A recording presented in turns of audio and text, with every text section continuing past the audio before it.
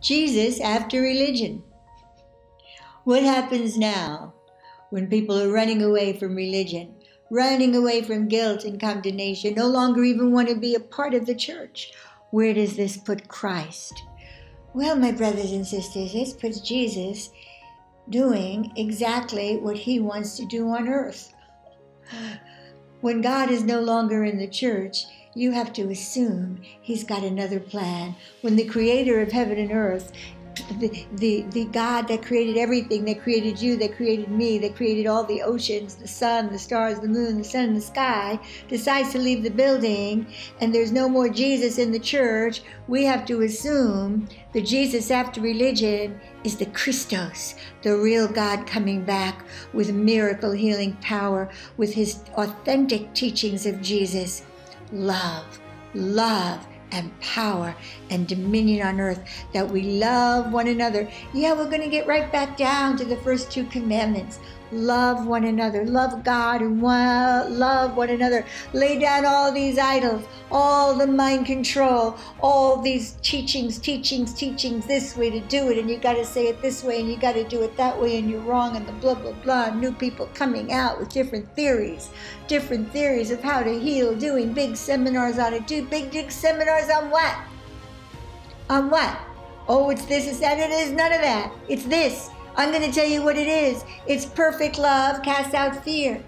Perfect love casts out fear. What is that? That we love one another. All these illnesses, all these problems that come from disconnection, that come from fear, come from the not loving one each other, then creates, come from not loving one each other, then creates these symptoms, diabetes, the blah, blah, blah. Henry White calls it this, and well, you got to say this, you got to remove that, you got to blah, blah, blah. No, you don't have to do anything, my brothers and sisters. You've got to connect to God and connect to one another. Stay out of that old creature that you've been redeemed from. Stay out of yourself. You hear me? Out of those thoughts. Don't don't don't don't uh, uh, don't give it place. All right? Don't give it place, and it will resist you. Don't worry about all these attacks of the devil. All this is not true. Give it no place, and everything will flee from you take this authority over your mind. This is the real Jesus. The real Jesus says, bring every thought to the captivity of Christ. The real Jesus say, oh, real Jesus doesn't say, add more teachings. Fill your mind up with a lot of extra stuff. Feed that mind like nutrition. No. God says, empty that mind out. Lay it down. It's another idol. It's mind control. It's a symptom of the problem. It's creating the problem. When God first walked into my life and I was sick and dying, He said, You know what your problem is? Your problem is your mind, everything you believe. Everything you believe is a lie, a deception. You know what? I cried for six weeks. Honestly, I thought he was talking to me personally. I, I thought the Creator was telling me I was mentally ill, and maybe I was at the time, but I thought the Creator was saying, hey, you're sick, you're dying because you're mentally ill. And I cried for six weeks, but you know what? I was humbled to surrender the thoughts, the belief systems. I wasn't humble to add more teachings. I was humble to lay the whole thing down and start fresh, start fresh in the spirit. If God doesn't tell it to me, it's not happening. God's going to tell it to you. You know, if you're not hearing from God, there's only one reason. All those teachings, all that thinking, thinking, thinking, thinking, mind control's an idol. Lay the mind down. I cried for six weeks, and then you know what I did? I brought every thought to the obedience of Christ. I brought every thought to the obedience of Christ, and I started to get major revelation. God taught me healing. God will teach you everything that there is to know. You have the Holy Spirit within you to teach you. You will know everything. The only thing that's blocking you from anything you don't think you know right now, because the Word says the Spirit knows all things, so you, you, you do, you don't. The only thing that can be blocking your perfect spirit, your perfect redeemed spirit, is religion, religion blocking with all those teachings, all that mind control. You got to do it this way, you got to do it that way. No, you got to be in the perfect love, liberty, a free spirit on this earth, walking in love, loving everybody. You don't love them because they don't say some certain prayer. You're not there to get them to say some certain prayer. God don't care about that little certain prayer. God didn't say your first commandment is make them say a certain prayer or they're going to hell. God said, love one another. Love one another. You know, your love is captivating. You the image and likeness of God in pure love. Your, your love captivates. Your love heals. Your love heals you. Your love has the power to heal any headache, any pain in your body, any illness in your body. Why? Because fear is at the root of most of these things stress, stress and worry and concern and fear. This is what creates illness today. Uh, broken relationships, stress, worry, and fear. Okay, that's 98%. If I miss two, then forgive me. I just don't know what those two are. I'm ignorant to that 2%. I'm ignorant, but I've been in deliverance for 20 years. Anybody I've ever seen, including myself, when I was dying, it was stress, fear, disconnection from relationships, and not being in my purpose, not being in the destiny that I came to be in, and adding idols. All these teachings, idols. Every doctor, idols. Adding idols out is bowing to idols. God told me it's your mind and all these idols that you've added. It's not any of these new things that people are calling it. Don't look at the body, it's not the body. The body, my brothers and sisters, has no individual consciousness. The body doesn't doesn't control you. The body, eh, you, you cut the head off. The body's dead. dead. It's over. You you stop the mind. You you don't when when you if you go into an operation, you your your mind is anesthetized. Your brain they don't anesthetize your your, your foot if they're cutting a foot off. It's the mind. The body is under the control of the mind. The mind is supposed to be under the subjection of the spirit. Are you hearing me? Spirit, heart, mind, body. If your heart closes, your mind goes crazy because your heart is supposed to be open for your mind to work right. Your heart and your spirit, heaven and earth here on earth, they're together as one beautiful unit. Your heart is open because your spirit, my brothers and sisters, is guarding it guarding it with all diligence, because out of it comes the forces of life. What I'm saying now is healing of everything, healing of everything. When your spirit is guarding your heart and your mind is coming under the subjection, not feeding, feeding it. You know what the heart hates more than anything on this earth? What shuts the heart down? Is all these teachings, mind, mind, mind. You know what else shuts the heart down?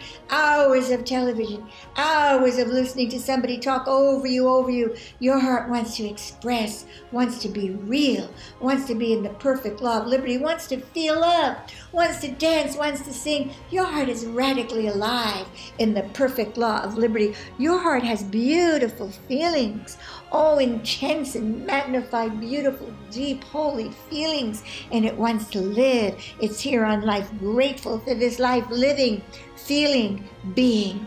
You are a natural, spiritual, living, loving, spiritual being. What's stopping us? What's stopping us is, is the religion, the mind control. We're talking about Jesus after religion is the natural Christos. Without that mind and, and, all that mind control and the idolatry of how to do it and the works, the stumbling block of works and all that, you are free. You are free to be you in the perfect law of liberty, in your holy identity as the righteousness of God in Christ, in righteousness consciousness, which happens to be dominion on this earth. Oh, and all the fruits of the Spirit love, joy, power, authority, healing, divine health, divine health, patience. Oh my God, love, the perfect love that casts out every fear, every fear. Oh, you could say, but I've had a lot of trauma. Oh, yeah, so have I. But you know what? Perfect love casts out fear. Perfect love, trauma is fear. Fear being restimulated, fear coming back, a memory of something. Oh, perfect love, you open that heart. You get out of that space. You hearing me? You go in and try to fix that. You are in the flesh. You're in the stumbling block of works. Religion has, has asked us to fix everything now. All these teachings for 20 years, we've been in the fix it business. Amen. Get out of it. When that mind wants to take you and say, I'm out. I'm out in the perfect law of liberty. I'm out. I'm not in working the mind. No, I'm in my heart. I'm up in my spirit. I'm out. I'm not in the mind. I'm not in the thinking. I'm not in the pondering. Oh, you stop the thinking and the pondering. You bring every thought to the obedience of Christ. And you don't have fear. You're out there loving people, giving of your heart. You're not giving advice. You're not telling people they're going to hell. You're loving people. And every time you give a little bit of love, my sisters and brothers, your heart is open, your spirit is released, and perfect love has cast out fear. Perfect love has cast out stress. Perfect love has cast out trauma. Perfect love has cast out the stress and the fear that shuts you down to create illness. Perfect love has cast out the loneliness from all these relationships. Perfect love has cast out the disconnect that religion has created in this universe. Perfect love has cast it out. Now you're creating love. You're creating relationships. You are pure. You're creating holiness because Jesus said, Love God and love one another. That was it. All these add ons have become idols, my brothers and sisters. And the idol within has been fed the nutrition of mind control, the nutrition of teachings over and over. Do this, do that. This is not God. This is not God. Hallelujah. You know what, my brothers and sisters? If you're not sitting in the building of love, if you're not sitting in the anointing of God, get out. Get out, run out, and go and love somebody at 7 Eleven.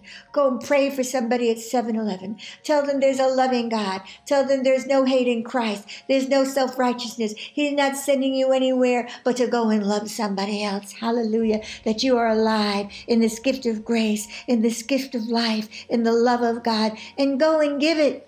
That is Jesus after religion. Hallelujah. Oh, I give him praise. I just thank you, Lord, that you are taking all this off the planet for such a time as this, that you are removing all this insanity, all these ways, all this works, all this fasting, all this praying. Just, you know, finally God told me one weekend when I spent a weekend in works, a weekend in works, I just wanted to get closer to God like you do.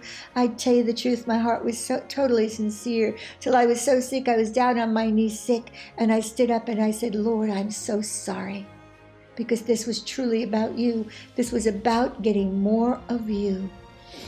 And I lied there sick and I just wanted to throw up. And the evil mind, the carnal mind said to me, Now what? Now what do you have? All your truth, all your ways to get to this spirit have been taken from you. And I searched my heart. Right there on the floor, I had no strength to get up. I searched my heart. What do I have? What do I really have? What am I thoroughly assured of? Where do I really stand? And I said that, and I felt my spirit start rising up. And all of a sudden, I'm standing up, and out of my mouth, and there's no thought, it's just my spirit being my essence said, I know one thing. One thing I know. My sins are forgiven, and Lord, your grace is sufficient. And I said that, my brothers and sisters, and I was delivered from works, and I felt something fly, something flew out of my neck some neck thing, arthritis I had for years. The doctors diagnosed it since the child. Had to sleep on this kind of pillow. Couldn't move my head this way. Blah, blah, blah. More mind control, more diagnosis, all lies. Flew out of my neck because I was over it. I was over it. I knew this. My sins are forgiven and your grace is sufficient. Amen. And then God said to me, as He'll say to you when you lay the minds down, all those teachings, you know what, my daughter? If you have so much faith, get out of the house. Get out of your works and go and love somebody. Oh, go and pray for somebody. And that's the way, that's how you stay in the spirit. You won't stay in the spirit fasting all day. you won't stay in the spirit praying all day. You won't stay in the spirit reading the word all day. You're going to stay in the spirit by being in the Spirit, by being who you are, by going out and giving your love, or looking at somebody and not taking offense. I see you've had a bad day. You need a hug. Can I give you a hug? Can I pray for you? Just going out and casting down your own fear. You know what? If you do it for spiritually selfish reasons, it don't matter. Just do it. Just get out of that house. Get out of it. Get out of the isolation. Get out of the television. Get off the computer and go and give your love. And give your love. Give a hug and pray for somebody. I guarantee you, you do that for a couple of days and you will be out of fear. You will be out of yourself. Do it consciously. You hear what I'm saying? Do it consciously. Make a conscious choice.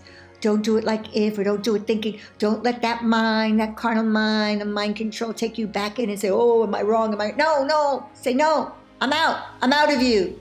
Do it with a consecrated effort and understanding I'm laying you down. I'm, I'm surrendering this mind once and for all. I'm done.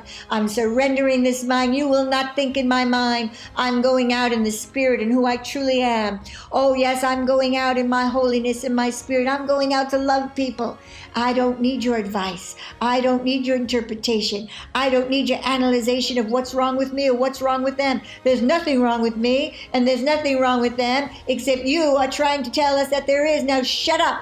I'm bringing you under subjection. That's what God has told me to do. Bring the flesh under subjection and love Him and love everybody. Hallelujah. I'm done with this. I'm done with all the works. I'm going out to share. I'm going out to be loved. I'm going out to give my love. I'm going out in my holy identity. I'm going out in the Christos and creating an anointing like this earth has never seen before. An anointing, an anointing, a perfect anointing of divine health, of divine prayer, of divine love. In Jesus' name.